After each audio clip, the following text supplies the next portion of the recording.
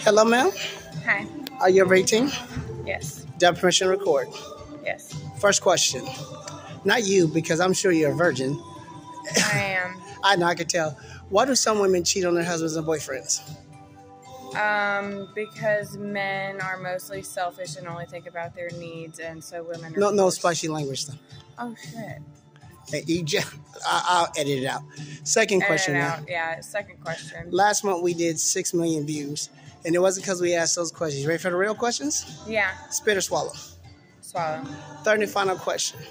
Front door, back door, both doors? Depends on if I love you or not. That means both doors, correct? It does. All right. As in all quizzes, we have a bonus question. Are you down for the bonus? I reckon. All right. Oh, I know you. Oh, yeah. I can't show everything, but trust me, she has nice. I, I can't show her outfit. All right. I can see it, but I have to ask it. Thong or commando? Commando. Panties are uncomfortable. Oh my goodness, she is commando. My goodness. Uh, okay, trim, shaved, waxed.